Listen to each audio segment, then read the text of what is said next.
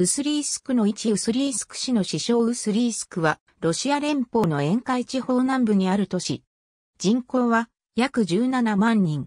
ウラジオストクの 100km ほど北に位置し、シベリア鉄道と中国からの鉄道、北朝鮮からの鉄道が合流、分岐する交通の要衝である。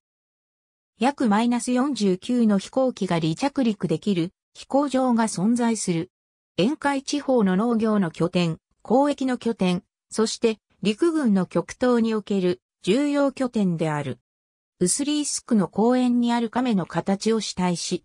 12世紀にこの地を支配した金王朝のもので、石碑が上にあったウスリースク機関車工場ウスリースク製、新女庇護制度。1914年に建てられ、共産主義時代にも制度のままあり続けた交易都市だけに中国、北朝鮮との密輸や日本車密輸、売春斡旋を行うマフィアの活動が盛んである。2004年には、ウスリースクを根拠にするマフィア幹部が自らの武勇伝や犯罪、投獄を当事者に演じさせた実録ドラマを地元テレビ局で放映させ、生々しい実話や実弾発射を用いたアクションなどで注目を集めた。なお、ウスリースクは、ウスリー川沿岸地方に経済的影響力を持つが、その名に反してウスリー川やその支流は流れていない。かつては、新国領でジュルホトン、またはフルダンホトンと呼ばれていた。1866年、この地位が新国領からロシア領になって6年後、ニコライ一世の名を取ってニコリスコエ村が置かれた。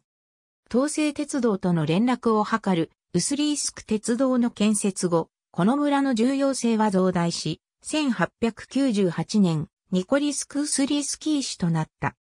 1935年、スターリンの側近クリメント・ボロシーロフの名を取り、ボロシロフ氏に解消された。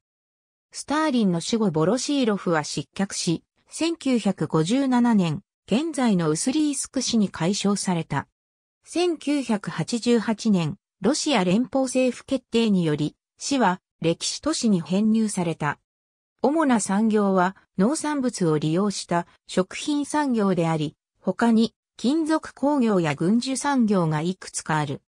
また、中国からの商品などを扱う卸売センターなど、交易機能もある。一方、対中国専用の地上部隊が多数集結しており、軍に依存した都市でもある。1893年に現在のシベリア鉄道の一部にあたるウラジオストク駅ウスリースク駅間がウスリー鉄道として開通した。